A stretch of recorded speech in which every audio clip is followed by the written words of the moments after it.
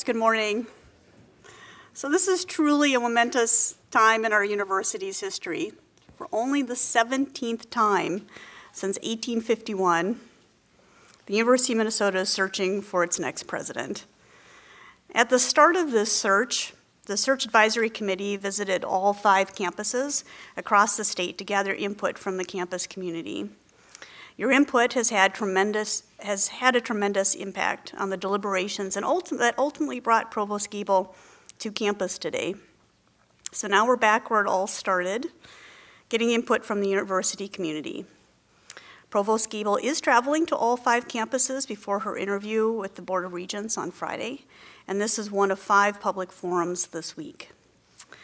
After the forum today, please uh, provide your input to the Board of Regents on the Presidential Search website. There are cards at the entrance of the theater, and please take one with you. It lists the website where you can submit feedback. Before I introduce our presidential finalist, I'll explain the format for today's forum. Provost Gabel will make a few remarks, and then we'll turn it over to question and answer session. If you'd like to ask a question, please write your question on the note card and get it to one of the staff in the audience. If you didn't grab a card on your way in, just raise your hand and someone will bring one to you. So now it's my pleasure to introduce our finalists for the position of the University of Minnesota's 17th president, Joan T.A. Gabel. Provost Gabel currently serves as the Executive Vice President for Academic Affairs and Provost at the University of South Carolina, a position she's held since 2015. She was previously the Dean of the University of Missouri's Trulaske College of Business, and prior to that, she held faculty and administrative positions at Florida State University and Georgia State University. Provost Gabel earned her bachelor's degree in philosophy from Haverford College in Pennsylvania and her Juris Doctorate from the University of Georgia. She and her husband Gary have three children a daughter who lives and works in Seattle, a son who's a junior in college, and a son who is a junior in high school. Please join me in welcoming Provost Joan Gabel. Thank you, Thank you. Good morning, everybody. Thank you so much for being here. I hope you know how exciting it is for someone like me to show up and have all of you sitting here looking back at me. What that says about this campus and this community is incredibly exciting to me, and I really look forward to answering your questions. So I'm going to keep my own remarks pretty short because I want to use this time as effectively as possible to learn from you and help you learn from me or about me to the extent that you want to. But what I will say as we get started today is first of all, I have to thank the Board of Regents and the search committee and everyone who came to a listening session, provided anonymous feedback, or otherwise engaged in the process, because I can tell you that it led to an incredibly professional, interesting, informative process, and it's why I'm here. And so I'm very grateful for the hard work of everyone who led to this point. And we also have to thank all of the staff who behind the scenes make something like this happen. This is a big production, and they're amazing ambassadors and representatives of the university. And I'm very grateful to them for all the work that they've done so that all of these kinds of events run smoothly and we have this kind of opportunity to talk.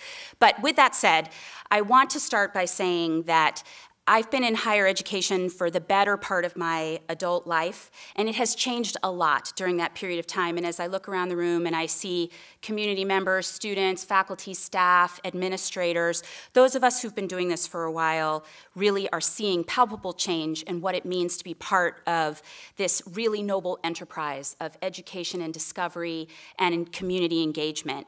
And some of those changes are resulting in pressure that not all of us like or enjoy, that doesn't necessarily make the work feel the same way that it used to.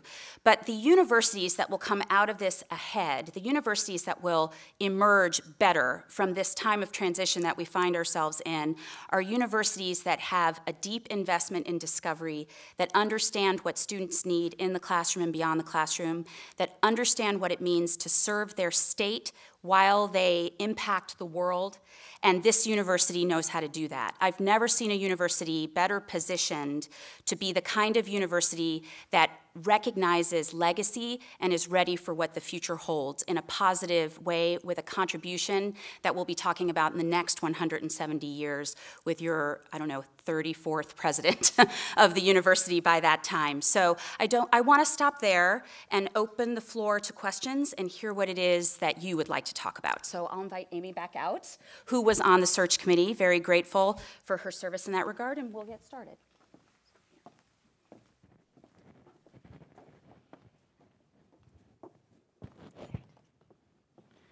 All right, well, we already have some questions that were uh, submitted. And I'll start with one that there's that really emerged from one of the main themes that came out of our listening sessions prior to uh, creating the position profile and so forth. And that was that the next leader of the, of the University of Minnesota needs to really make the case for higher education. So the value of higher education is being questioned nationally. How would you respond to that? Well, it's, it's a ongoing conversation. You see this in all corners of the country. You see it in the state where I live now. And you see it across constituencies where you may not necessarily expect it because it is an investment to engage with a university as a faculty member, as a student, as a partner in the community. And it is our responsibility to make sure that we tell that story well.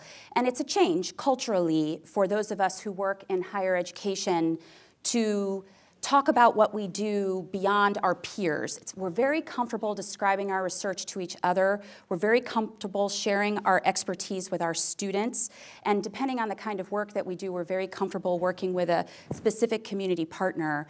But talking beyond that in the past has felt like bragging and that is not comfortable for most of us.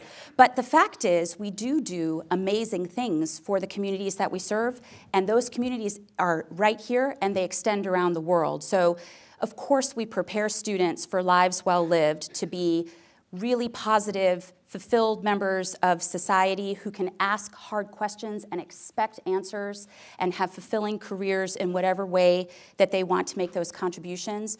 We are capable and currently are and can improve as a beacon for what it means to be welcoming and inclusive, create a sense of belonging for everyone within the community. We do discover new ways of doing, thinking, providing, curing. I mean, I don't even know how long I could make that list without leaving something important out, but the list is long and valuable and impactful. And we are a driver for economic development. The resources that are invested in the university yield for the state for all of us in the state and beyond. And we need to remind people of that. We need to be prepared to describe that in the specific classes that we offer, the programs that we offer, the research that we do, and the way in which we serve the state through our extension offices across all the counties, through our campuses across the system, and of course, right here in the Twin Cities. And so I think that this is the, the new approach that university presidents need to have is that in addition to facilitating and stewarding a well run institution that does all of those things in research, teaching, and service, that they are prepared to talk to various stakeholders and constituencies about what's going on, be transparent, communicate. Be prepared to take hard questions. I suspect there are a few of them coming. Respond to those questions in a way that provides information or the redirect to the person who has the information, and to be able to talk about the overall value because we know, because we're invested, that this is obviously an incredibly worthy enterprise that we've partnered with, that we are a part of, that we devote our lives to. But we need to make sure that other people know that too. All right, thank you. Uh, the second question that came in, and this also is really in, in alignment with the things that we heard during the listening sessions is this uh, process began, and it made it, um, made it into the profile in a very prominent way and it's the question about diversity.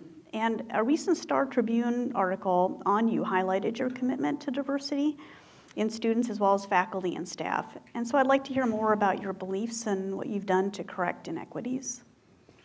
So I would consider this, and this may be a slightly overused term, so forgive me, but I would consider this one of the grand challenges of society in general and specifically for university campuses, which is how do we lead on what it means to be welcoming, inclusive, create a sense of belonging, and why should it be us? And I think the why is easier to answer because we are ones with the best ability to steward what happens next across a variety of points of reference. And so, if we want to think ahead about the value of appreciating multiple perspectives, the ideas of how dignity and respect actually lead to better discovery, better instruction, how the recognition of what has happened historically is iterative and can inform the future across a state like this across every state in the country and around the world. This plays to our strengths. We are thinkers. We do like to discover. We like to prepare ways to have robust conversations. And that is something that we can do really well. So we can and should lead this conversation. But then it also comes back to the fact that we're an enterprise that's operating every day. So who's coming here? Who's working here? Are they getting their needs met? Are they, is their voice represented and heard in a way that's meaningful and has impact? And so we've tried to take what is really a grand issue and break it down into component parts so that we could start to see where the gaps really are rather than um, just feeling the sense that there are gaps and act on those in short order while making plans for long term improvement. So, things like student composition, of course, and ensuring that there are really strong pipelines into various communities so that the student body is representative of the population of the state, that the faculty and staff are representative of the population of the state. We are not there yet where I am now, but we've made discernible progress by being purposeful and intentional and creating programs that are likely to yield success. Mm-hmm with the faculty, both in their composition and in the support uh, for work and discovery, we've created a multitude of layered advisory committees, some with students, some with faculty, some with staff, some with community members. And then we wanted to make sure we didn't have advisory committee fatigue, where everybody's working busily on committees and not necessarily seeing outcomes. So we created essentially what has become an executive council. And one of the things that have, has come from that that I think has made and has the potential in an ongoing way to make the most difference is we decided to invest in a chief diversity officer in each academic unit and in each of the major service units like student affairs. And that is an investment of resources, an investment of time. The person who fulfills this role is at the rank of associate dean or equivalent in each unit. And that means that they're not doing as much teaching and research. And so that is a conversation and a thought process that every faculty member needs to have. And then they become subject matter experts for the unique opportunities and challenges of the disciplines in their unit, the students in their unit, but they also become an advisory committee for each other. So this isn't done in isolation, it becomes a network it becomes a, a, sharing of best practices and ideas. We have people deployed now to conferences from all different points of view, bringing that information back. And from that has come a variety of activities that we're starting to see yield on things like campus climate surveys, different types of speaking events, but what topic, why, when, around the class schedules, around people's obligations, in ways that we may not have known or been as uh, sensitive to if we weren't hearing from this group that has made this effort so distinctly. There's a lot more, but in the interest of time, I'll say that that's really where we've started, some of the uh, 30,000 foot highlights. But I also want to say that it's a, it's a long game. And this is the kind of thing that if you assume, oh, I've done these two or three things and now we're done and everything's fine, that is um, probably not an advisable strategy. So instead, I think it's very important to say that everywhere, at every institution, and at the University of Minnesota, it's very important to consider this just woven in, part of what the university does, part of what the university, in the front of its mind, thinks about in order to continue to improve in this area. Great, thank you. All right, one of the questions that just came in was something that I think this question is something you, it's not surprising to you, but the question is specifically how do we balance all the conflicting goals that we have in academia? So this person has itemized out, you know, lower tuition and competitive salaries, high quality facilities, research support, maybe even some of the initiatives that, you know, investing, some of the initiatives you just got done describing. So how do we balance all of these conflicting goals? Well, operationally, that's the hardest challenge in, in running the place is figuring out how to say yes to every good idea knowing that you can't because there are not unlimited resources. And so that is where strategic planning comes in, and strategic planning in an inclusive and open way, much like the um, process that you saw leading up to where we are now with this search, but in an even broader sense, because there are ways for universities to do a lot of things at the same time, and we do do a lot of things at the same time and very well with a lot of legacy and impact and value. But when you're looking at um, choosing, there needs to be a structure around how you would make that choice, and you need to develop that structure in an inclusive way, leveraging the fact that there are a lot of really smart people here who really care a lot about the place and come at it from different points of view and really can often advise you in ways that you would not see on your own if you're nose down at your own desk, just thinking about what to do with your day. That's great. So, uh, one of the, at all the different listening sessions we had, students uh, came to came to them and often express the same issue, which is they want a president who knows what their life is like and what their experience is like as a student and all the different aspects that they're confronted with and dealing with. And so, as a president, how do you keep your finger on the pulse of what's happening with the student body? And I think thinking about the student body and all the different kinds of student bodies we have undergraduate, graduate, professional, et cetera, um, mm-hmm. at this university. You know, I had a very, it's a very good question because I would have answered that question differently about six years ago than I do now. And the reason for that is my children came to college age. And so I thought I knew what was going on. And then I sat in the room while other people presented to me as a parent. And I, wow.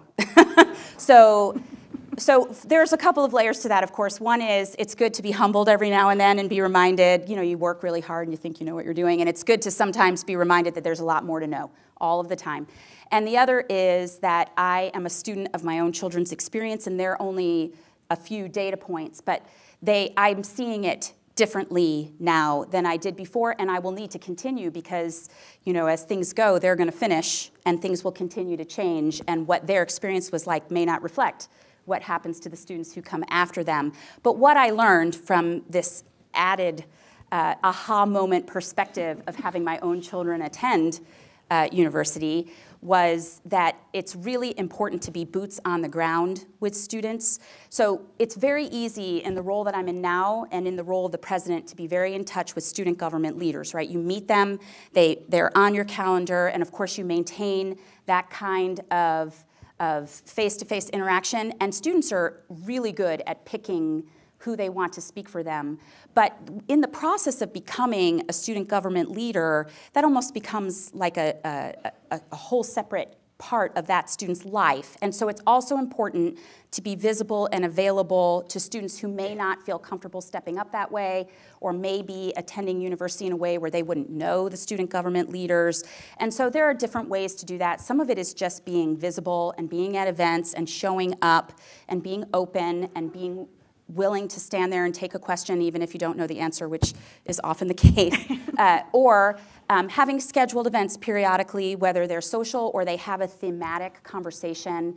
We do this sometimes around speakers with receptions before or after so that we know we can have a deeper dive conversation about a topic of difficulty, and then we have the benefit of subject matter expertise with the speaker, or sometimes they're just fun. But you have to make moments like that happen and also evoke a sense of approachability because one of the gifts of being in higher education is being in the company of students. I mean, if you're ever worried about the future, spend a few minutes with a university student and you will feel better. So that is a wonderful part of the work. Great, thank you. So a lot of times, sci- the sciences, engineering um, gets a lot of attention. Mm-hmm. So this next question wants you to speak to the role of arts in your own life as well as your interest in the role of arts at the University of Minnesota community and beyond? Well, I give this a lot of thought because I myself was a philosophy major and went to a very small liberal arts college for my undergraduate education and thought it was an amazing and transformational experience. Now, my own children went to large public universities, and I think they had amazing and transformational experiences too. So I think you can find this where you are and what speaks to you as a student but the this that I'm referring to is the idea that our responsibility is to provide students an education. And education is a multi layered thing.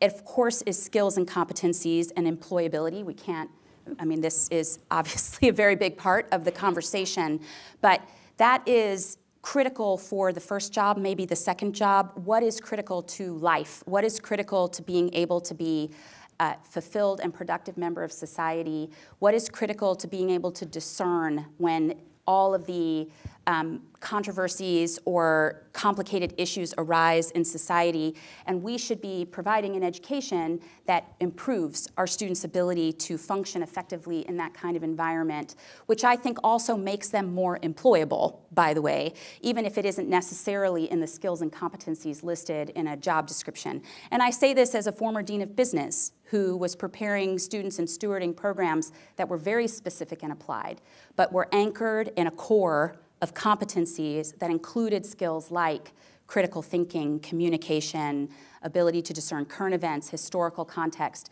which were woven into the curriculum and were assessed as part of the preparedness for that degree. All right, thank you.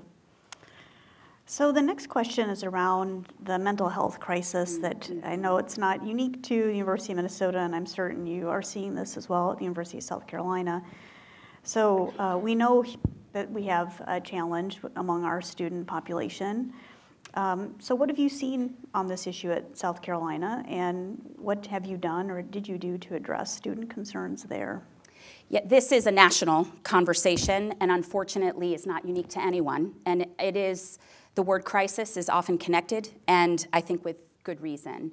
So uh, there is a lot of very rapid movement across both academic affairs and student affairs, and also with community partnerships to make sure that our students feel safe in every context of that word, but talking specifically about mental health. So we've done a few things that are sort of you know operational, like hiring more uh, counselors, changing the schedule, um, the, the time methodology for getting an appointment, making it easier, um, also doing things that enable better and um, more accessible off hours support. So, just the support network is improving um, as part of our response to this. We're also uh, doing a lot of benchmarking against what other institutions are doing in terms of peer support, in terms of faculty preparedness, who are, uh, for a very distinct portion of the day, the frontline observers and partners to the students as they are part of the university community. But of course, most of our faculty are not trained to identify a student who may be struggling or to know what to do when they learn that that student is struggling. And I've never met a faculty member who wouldn't have wanted to help. So the idea of giving the faculty those resources so that they can get the student to where the help is fundamentally provided has made a pretty enormous difference. And we work really closely with student government, who've taken this up as a platform on behalf of the students who are themselves benchmarking with their peers and a- across best practices. And we're working with them to implement some of the changes that they have suggested as well. Thank you. There are several, several questions. I'm going to try to combine them Okay. into one. We'll see how cohesive this becomes. Um, so there are a lot of questions that have been submitted asking just to know a little bit about you and about your style, your leadership style, and specifically working with all the different groups at a university of this size. So can you talk a little bit about your leadership and management style and experience with um, you know, aspects working with staff in your office, working with uh, shared governance with faculty, um, professional staff, students, et cetera. Um, how do you, tell us a little bit about your style. Okay. Uh, well, I really believe that because institutions like the University of Minnesota, also like the University of South Carolina, are so large and complex, there's no way that one person can know everything, or even a very small fraction, frankly, of everything that it takes to make a university successful. And so, one of the things that I have enjoyed the most and have been mentored on by the president at the University of South Carolina and have learned from him and from other mentors is you surround yourself with really smart people who balance each other well, balance you well, care about the institution, and then you let them do their job. And hopefully, you do that in a way where they feel very open to share their ideas, that you can hear pushback in a welcoming way and improve from it.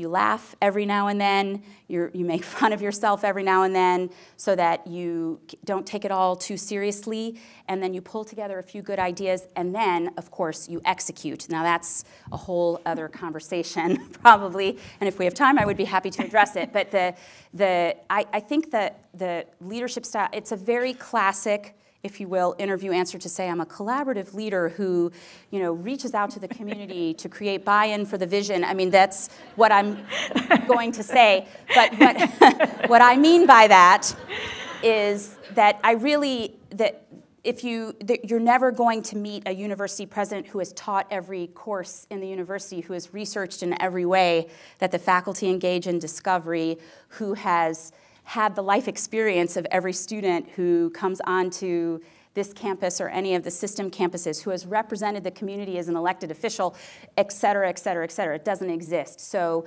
how you create people who fill that and, and, together and then work together well with each other. They have the expertise and they have the compatibility. That's what I consider leadership. Thank you. Okay, here's another um, combined question from several, several, several, several cards.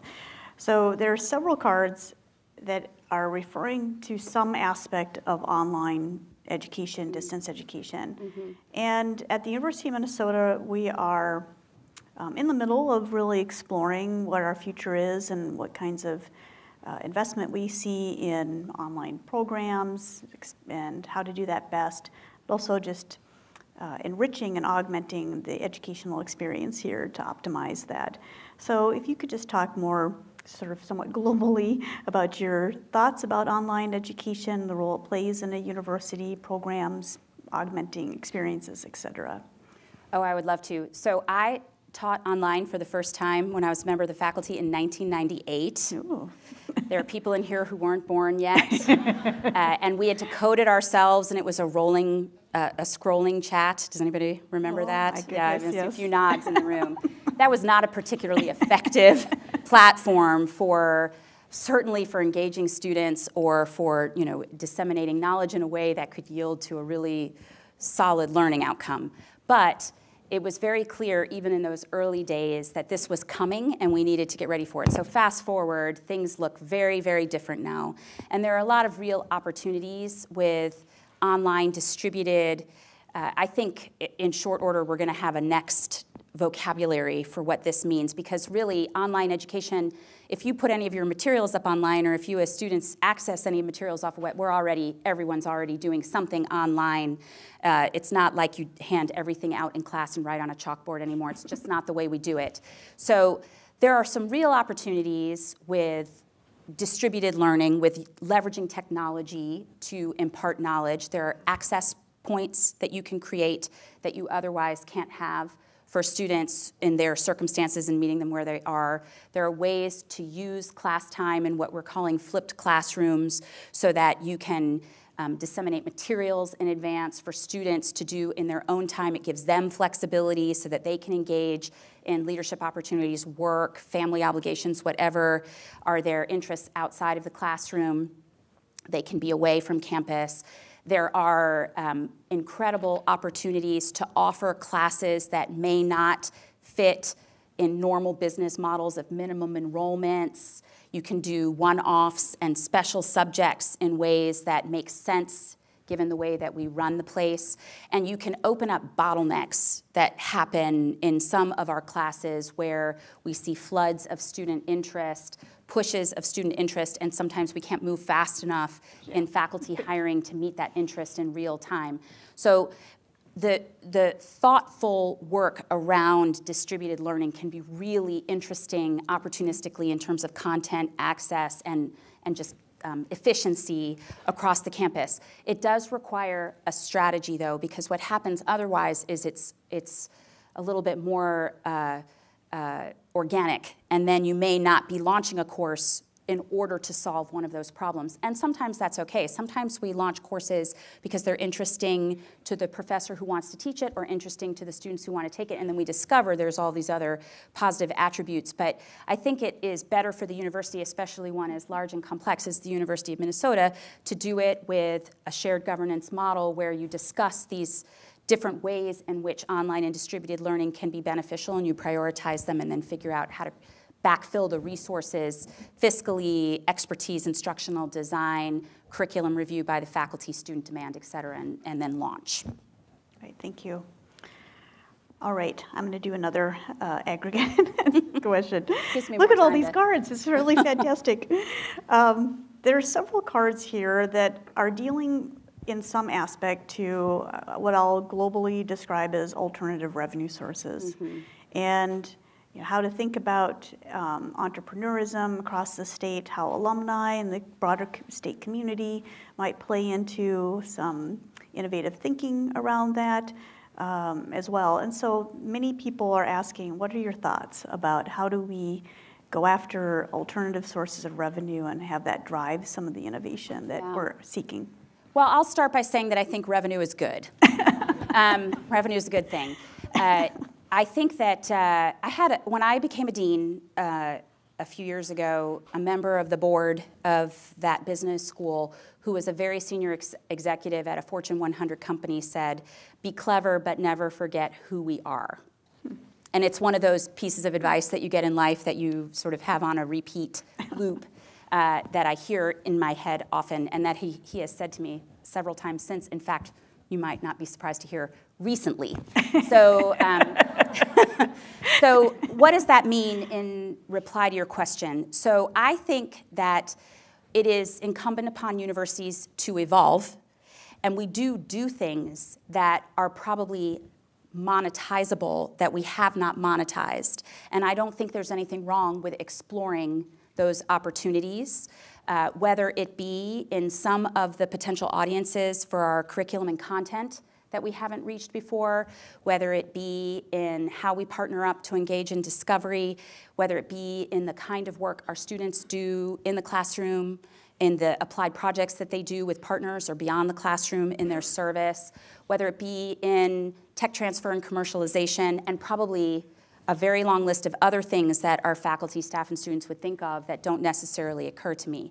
But I don't want uh, alternate revenues to start to creep into core mission, and I think that that's where the leadership and the shared governance and the um, open input cycle comes in that when you explore alternate revenues, they should be clever and innovative, but also fit who you are so that they don't become um, the driver and pull you away from core mission and then undermine the value of what it means to be the you. You know, that's precious and it's a legacy and it requires nurturing and stewardship. But I absolutely believe that those two things can coexist. Thank you. So right now, we're in the middle of a major presidential initiative to prevent uh, sexual misconduct. And so there are also several questions here about asking you to share your thoughts, ideas, visions, commitment to responding to and preventing sexual misconduct at the University of Minnesota. Yeah. Uh, well, of course, I will start by saying that the only acceptable outcome is uh, zero, and meaning zero assaults, and that the uh, there's nothing worse. There are very few things I can imagine being worse to experience, and that it is absolutely critical that we do everything we can to prevent, support, and handle properly upon. And that is obviously uh, what has to happen at every university. And it has become, a- I know, a very robust conversation here, and unfortunately, like several of the other things we've talked about already, is a national conversation. I have done a lot of observation and study on the approach that the University of Minnesota is taking um, in terms of really leveraging the know how of our public health colleagues and thinking of this as a public health crisis and using the expertise of that um, both scientific area of study and the fact that it's a very applied field and in the communities in which we serve, including, including this community, to try to really get at what it means to effectively prevent. And I think that that is well underway and uh, tied in with the kind of support services we were talking about earlier with mental health, some of the technological services. I know, uh, like Callisto and other tools that campuses are using, really strong support with law enforcement to um, really emphasize prevention because, of course, if we're successful there, then some of the other issues become uh, less acute. So, with the unfortunate recognition that perfect prevention is unlikely and that we're not there yet, even if we're ultimately able to achieve it, then the idea is to make sure that your support structure on campus is fully aware of the unique attributes and issues of this type of crime, of the consequences of this type of experience, and works together to make sure that the support is absolutely world class and top notch. And with the kind of expertise and know how we have on this campus, that is, we should be leading the charge and conversation on that. And then there is, at the end of the day, the compliance attribute, which many of you know is in real time changing right now with new advisory guidance and laws coming out from the Department of Education federally that create a fair amount of uncertainty about what the role of the university is. And so getting up to speed, I mean, this was just a couple of weeks ago. So getting up to speed as quickly as possible on what it means to do the right thing in terms of prevention and support and do the right thing legally and make sure that they are aligned with each other. But I uh, am uh, very grateful and and uh, glad to see the emphasis on prevention because not every university that has faced this challenge, this crisis, has focused its attention as much that way. And I think it is the right balance to strike across the overall effort to eliminate this crisis. Thank you. Can you talk about your experience and views on you know, cross-disciplinary collaboration mm-hmm. and, and efforts um, to bring units and ideas together at a large university. Oh, I would love to. So I came by some of this naturally because I was a lawyer in the business school. And so if I wasn't willing to step into someone else's party and join their intellectual uh, pursuit, then I would have been very lonely in my scholarship, and you may have already picked up that that wouldn't have been how I would have wanted to do it. So, uh, the idea of working across teams was something that was a necessity for me, but in full recognition of the different ways in which we become scholars, in which we engage in our research, many of us are really brought up within the academy to benefit and are incentivized to work alone uh, with students perhaps, but not necessarily cross disciplinarily. And that is a long standing, you know, centuries old tradition in many of the areas of study and has yielded some pretty interesting outcomes and discovery that are hard to argue with. But in the modern era, the value of looking at things across multiple perspectives is what employers expect our students to be able to understand and appreciate when they graduate. It's what many of the funding agencies are incentivizing and how they're supporting research and scholarship. And I think we're really starting to see in varying degrees pivots on editorial boards, review committees, across the mastheads of our favorite journals, in recognizing that looking at questions from a broad point of view has value and can, in fact, advance the knowledge base. And I suspect that our students in the room who are doctoral students today who join the faculty and go up for tenure in what, seven, eight, nine, ten years, depending on where you are, four, five, six years, depending on where you are, will have a, a clearer set of expectations from tenure and promotion guidelines that reflect this cross disciplinary work. So, the role now, of course, is to, on campus, try to create those incentives so that you're moving at the right pace, leading the charge, finding the strengths, seeing where um, interdisciplinary and cross disciplinary work might actually yield new strengths, and providing enough support so that then uh, the magic happens between the intellectual interest and compatibility of the faculty. Thank you. So there are several questions here that I think are related, although people who've submitted these questions, if, you, if I'm mischaracterizing this, you can submit another one. Uh, so I see it differently. But there are several questions about the role that higher education, universities, but maybe specifically the University of Minnesota plays in helping to foster a healthy democracy, and how, as a university community, are we um, obligated to engage in some of these difficult conversations, um, help that help this be a space of, of debate and dialog And climate change as a topic is often uh, inserted in uh, this question in the cards. So it's sort of a big question, but and I guess maybe it's sort of looping back to that first question of why higher education and what's the important role, but specifically around healthy democracy. That's a really good question. And it's something that uh, the leadership team that I'm in now talks about a lot. And, and I would say did not before, but things changed a lot in 2015 and 16 on higher education campuses. And I think we've seen some really positive outcomes from what was a difficult time, as is often the case, that it's through some painful moments that you find some of your best uh, movement forward.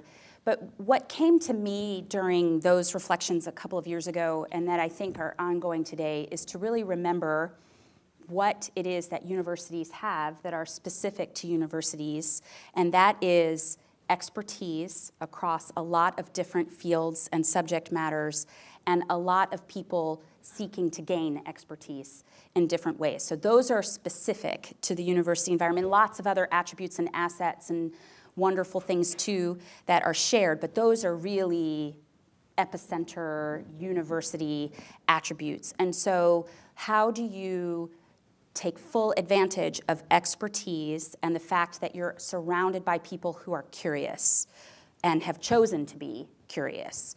And so, what we've really tried to do in um, where I am now and what I want to continue to do in the future, hopefully here, is I want to uh, create forums.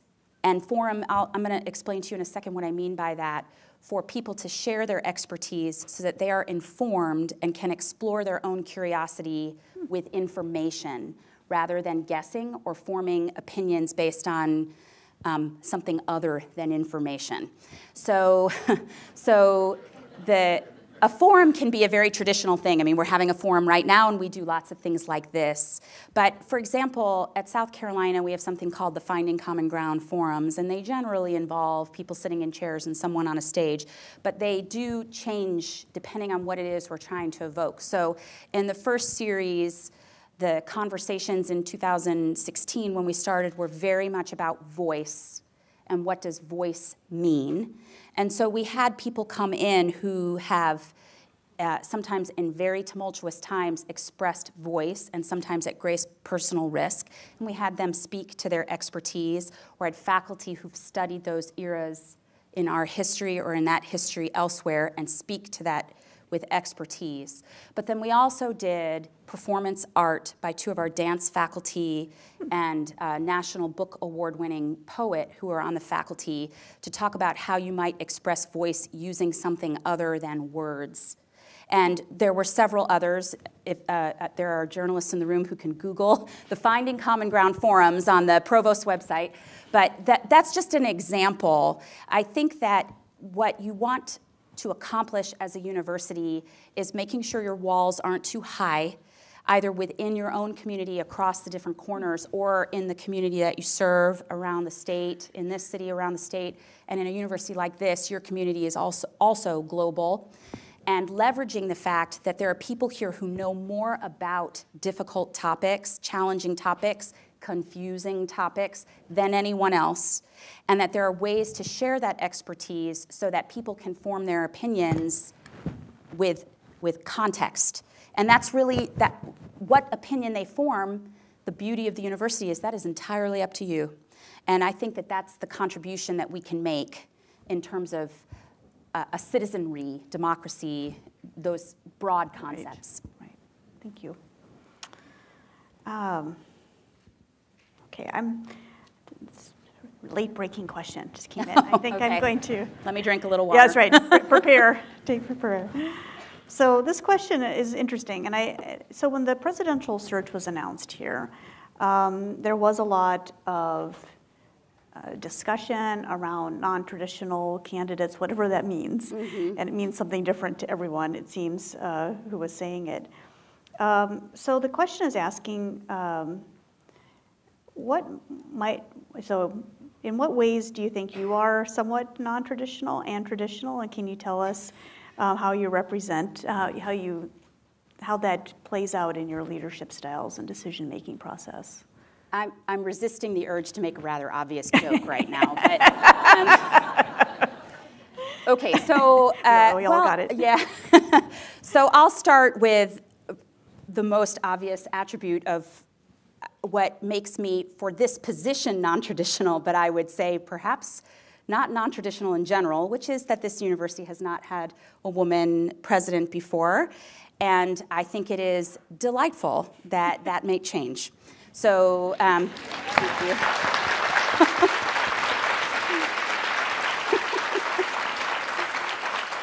Thank you, uh, and thank you for the support. I, I, was the first woman business school dean at the University of Missouri, and there was a little bit of a, a, little smaller headline about that. And I was the first woman provost at the University of South Carolina, and there was a little headline about that. None of them have been quite as big as the headlines here, uh, as not surprisingly. But what I would say about that is, is well, it's a fact, and it's okay to acknowledge that fact. It's a fact, acknowledge it. But uh, I think what's also important is what do you do once you're in the job when no one's going to care anymore? Uh, you know, five minutes after you start, it's about the work, right? And whether you're doing good work and whether you're bringing the university from great to greater and fulfilling the mission of the university. And I think that that is the responsibility of any president, regardless of what discrete characteristics they might bring to the table. Now, at the same time, I often get the question in different contexts, you know, what do you think is different about your career because you're a woman? And uh, that one makes me laugh a little bit too because it's not like I can compare and contrast my own life experience. But uh, I have, uh, by virtue of some set of life experiences, a really deep and passionate desire for everyone to feel welcome at the table. I have wanted to feel that way. I want everyone to feel that way. I'm not sure if that's because of or just is. I know many men who feel that way too. But in any case, I do think that that is um, an appropriate way to take advantage of the fact that this is a pivot and an evolution and a symbol of that evolution, but also that we also now just have to get to work and do good work on behalf of the university and take everything good about the place and nurture it and find the next new wonderful things to do and work together to make sure all of that happens. Thank you. There are a couple of questions here about the importance and role of international students mm-hmm. in, at our university. And um, if you could just comment on your perspectives on the role of international students and thought um, as a part of our community. I would love to. So, my first administrative appointment was as the interim director of the Institute for International Business at Georgia State University. I uh, really found my um, ability to create multiplier effects, the value and fulfillment of administrative work doing international work for universities specifically, but also I do things like trade missions with the Department of Commerce and things like that too. Work with, inter- because of the previous administrative posts I've had, work with multinational corporations and think about what it means to infuse a sense of cross cultural competency, et cetera.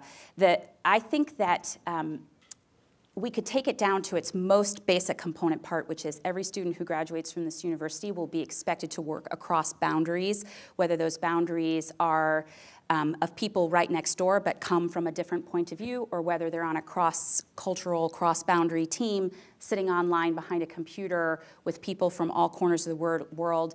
The discoveries happening everywhere, the customers are everywhere, the problems to be solved are everywhere. And so, how do you prepare students for this type of life, and how do you, as faculty and staff, um, take advantage of this type of life to do better research, better scholarship, better performance, better curriculum design, better work in your own classroom. And in order to do that, you have to have a lot of different people in the room. And you have to have a lot of different points of view represented. So I think that universities absolutely benefit from having present um, international students, international faculty, international staff. I think this is part of how we serve the state right here at home. I also think that one of the beauties of being in a state that has a wide statewide reach, but also a major metropolitan area with a lot of uh, major company headquarters located here, is that what happens in this state, and I know this because this has happened in my own family, because I have family who moved here and stayed, is that this state and this city and others in the state are what our um, colleagues over in sociology would call sticky, meaning when you come here, you stay. And this is a growing community. We have workforce needs in this community. We have capacity for very vibrant and fulfilling employment in this community, and I think we should be meeting those needs. And in order to do that effectively, you need to bring people here and then hope they stick. So uh, I think that this is part of the value proposition of a robust, complicated university community. Thank you. So we have a we have a very robust governance program um, process in this university um, across different groups: faculty, staff, students, um, our bargaining unit are all engaged. So can you just describe some of your experience with shared governance and uh, specifically maybe faculty shared governance, but just your ideas in general? I'm smiling at Amy because she asked me the same question during the interview process in an earlier phase. So uh, I've worked in um, at universities where the faculty were unionized, and the university where I'm at right now, the faculty are not unionized, but very very active faculty senate and the uh, and I was uh, briefly before I became the director of that institute that I referred to previously, a faculty senator back in the day, and uh, I I think that the shared governance model is how all of the interesting advances that universities have made. Uh, perhaps not in the individual research of the faculty, but in every other way, have happened. And that is not to say that it is not occasionally without frustration on both sides of the conversation because people have different ideas about how to move forward. I think that's pretty typical. But from my experience, it's in that exchange and sometimes in that very tension where the interesting things happen. And some of that may be because I'm a lawyer and so tension is something I know a little bit about. But the, the, um, the idea of, of having different points of view but a shared end game goal is really something worth investing in and nurturing. And so, what I've done specifically to actually answer your question is uh, I have what we informally call with the head of Faculty Senate and the um, chair elect of the Faculty Senate at South Carolina, we call it the bat phone. Old enough to remember what I mean by that. Just nod at me if you don't. But anyway, we are in regular communication with each other about a variety of issues. I'll tell you about one just because I can't resist, uh, which is that um, the state, uh, the northern part of South Carolina and the southern part of North Carolina are in a winter weather advisory. Uh, I left the bad weather to come here. I just want everybody to reflect on that for a moment. But the university ended up not having to close, but might have had to if there were um, severe enough conditions. And that's the kind of decision that we make in real time in phone calls and group texts, and if you can get to each other, depending on where people are. The last time we had to close for bad weather, the chair of the Faculty Senate was in the Czech Republic taking the phone calls at 2 o'clock in the morning for him. But uh, we do those sorts of things eh, so that we make sure when we're making major decisions, whether they're urgent or whether we see them coming, that we do it together. But also, we have, uh, in, in exactly the same way as here, a very robust committee structure within the Faculty Senate. And I'm at a lot of those committee meetings, as are other people from my office. And then we're very, very open and purposeful about having faculty senators come to the administrators retreat. We added that recently so that Faculty Senate could participate. Student government uh, leaders are invited too. Um, that was not the case before, so that they can hear from each other both formally when we're doing this kind of thing, but also in the hallway and as you're getting lunch and all the other times when sometimes the magic happens and the relationships are formed about what's top of mind for different groups, and then that often informs the agendas for future conversations.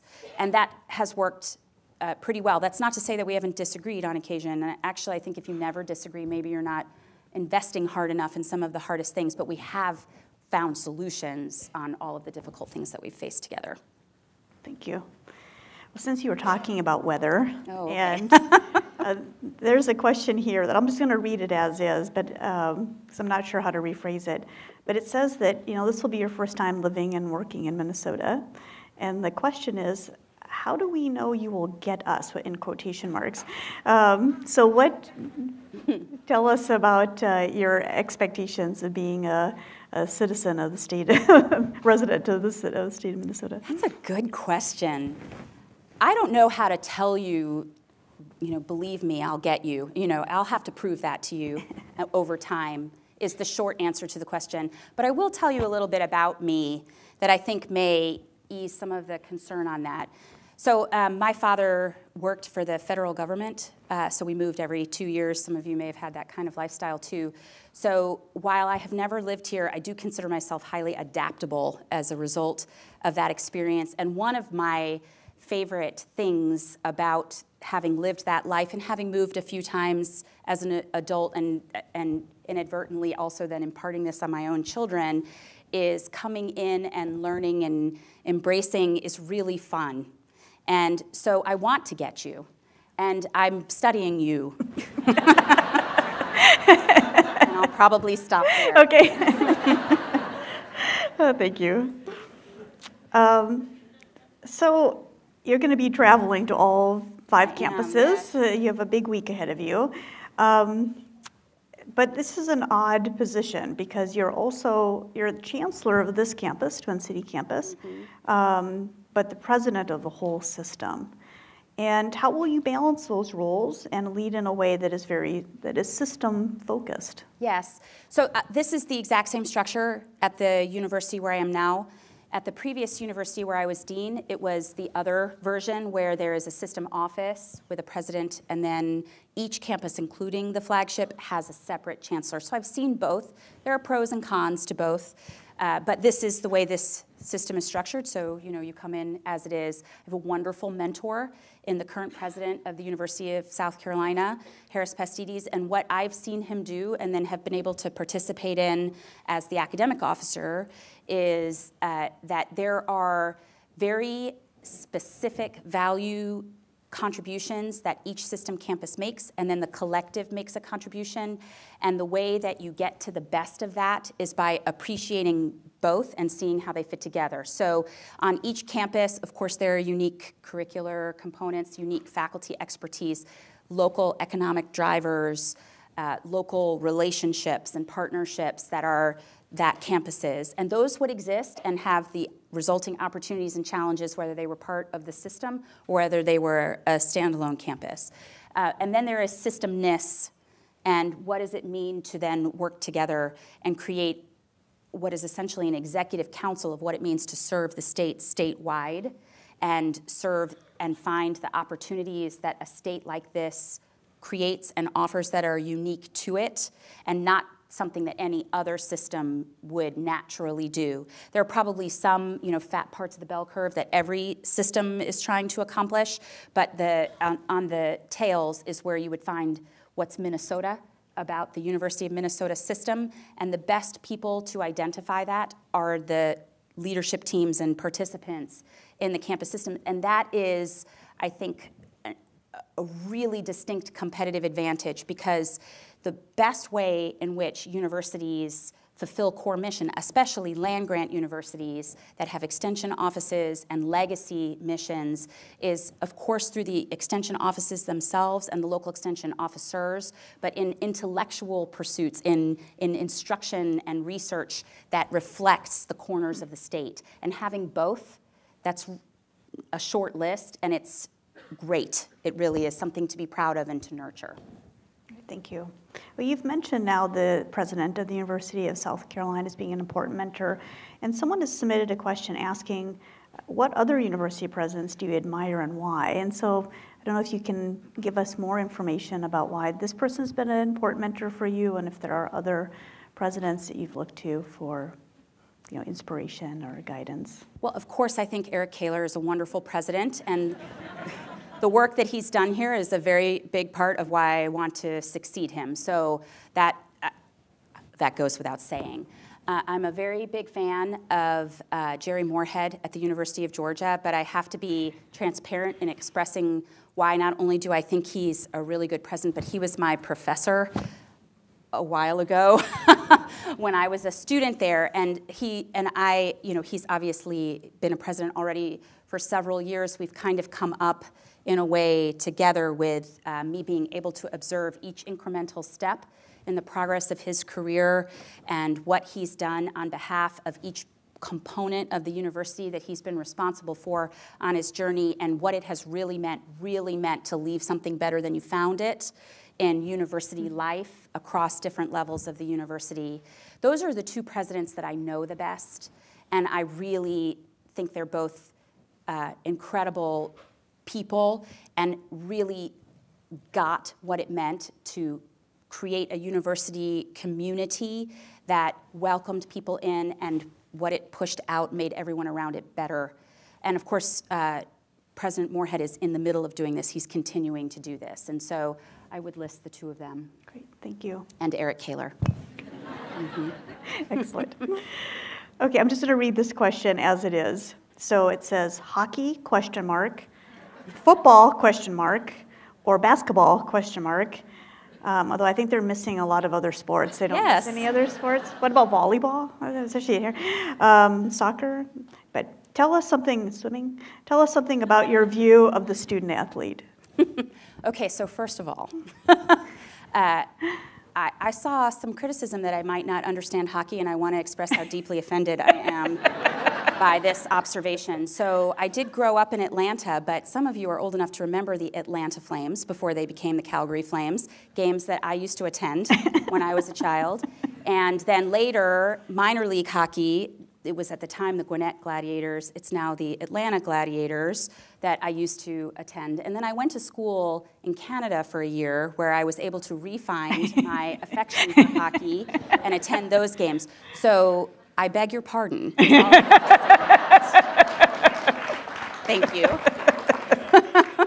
so uh, I just, I'm personally a terrible athlete. I'm a very big fan, uh, and I enjoy sports. And I'm, it's a little like music for me. It's, it's you know, I enjoy the competition. I, I, am going to tap my toe to whatever rhythm is coming through the radio. So I, I um, growing up in the southeast, football is well, it's pretty big there. it's pretty big there, as is baseball.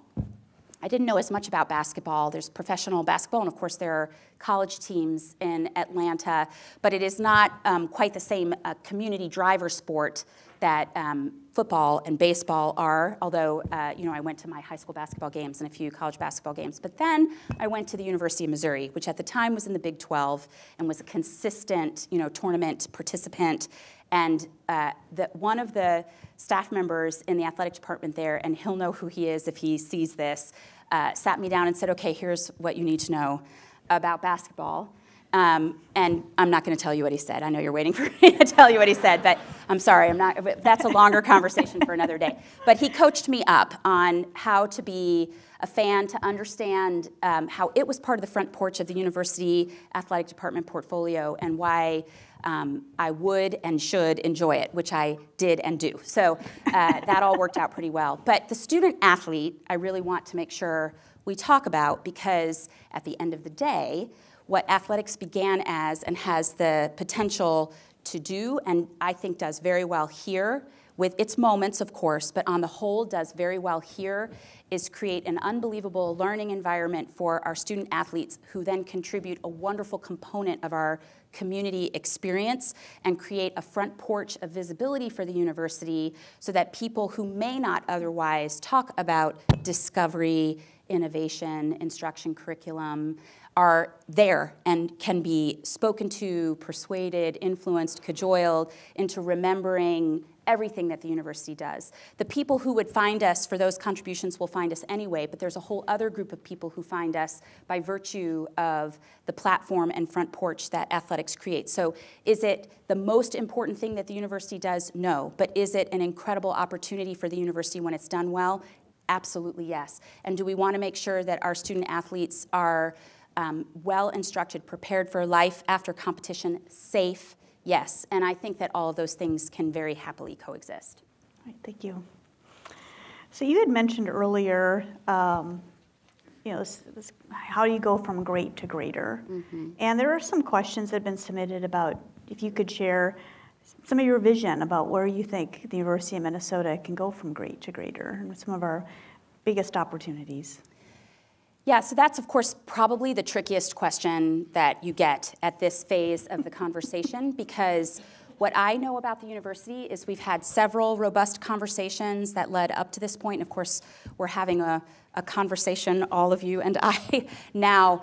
But I think that uh, uh, creating a bullet point list of here are the three things you need to do would be hubris because I I need to get you, as you all asked me about earlier first. And also, that needs to be a shared governance conversation and how you would develop that kind of list. But here are the categories, broadly speaking, of opportunity that I see. So, this university isn't coming into this very interesting and challenging time that we find ourselves in in higher education um, upside down, if you will. And by that I mean it's not that the research enterprise is struggling here. The research enterprise is in the top 10 in the country here. It's not that students aren't interested in coming here. You're enroll- you have a, an incredible demand of extremely qualified students who want to come here. And it's not like you don't have the attention of your state legislature. There, there, it, it was part of the platform speeches of your incoming um, elected officials across the board. And last but certainly not least, it's not like you don't have corporate America here tapping on your shoulder saying what's going on on campus. So when you look at that basket of attributes and you think about, well, the next bullet points aren't going to be a turnaround, right? That's not one of the things that we would be talking about for how we would rescue ourselves over the next, um, whatever the reasonable arc, three to five years, five to 10 years would be, which is great and not necessarily the story that every university is telling right now. But there are things emerging out of the research enterprise. I see some tremendous potential in the partnership with Fairview in academic medicine, academic health center.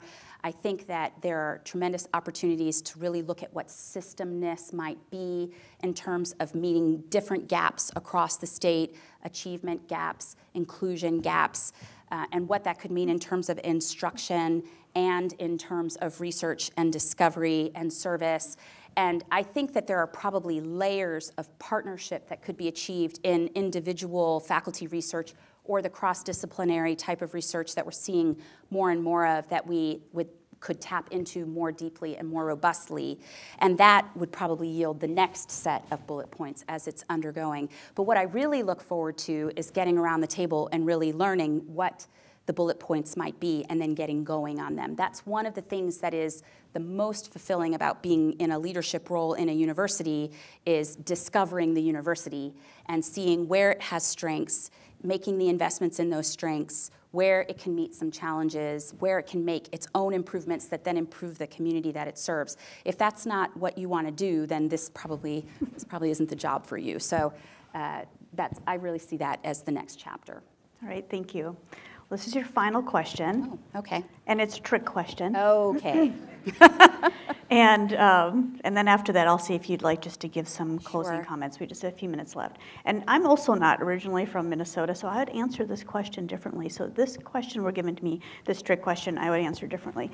But this is a very specific Minnesota question. So, duck, duck, what comes next?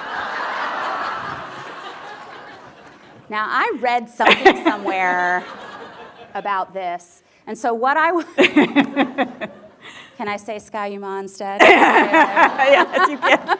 Yeah, that's good. and go Gophers. Yeah, yeah, yeah. Or go Bulldogs, go. Yeah, and go- et cetera. Okay, Yes, of course. Thank you.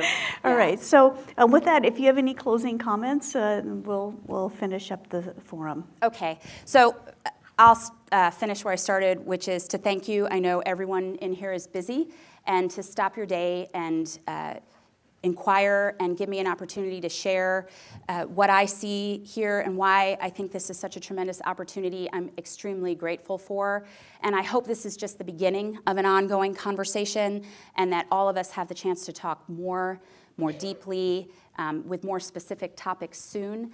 Uh, It's a very big part of what I see your next president doing. It's something that I hope I have the opportunity to do, and I'm really honored and humbled to be able to sit with you today. And uh, this is our first open forum of many, and so I'm really looking forward to seeing how the whole uh, experience goes through this week across the state. But I'm just so delighted to start here with you today, and I thank you for your time. Thank you.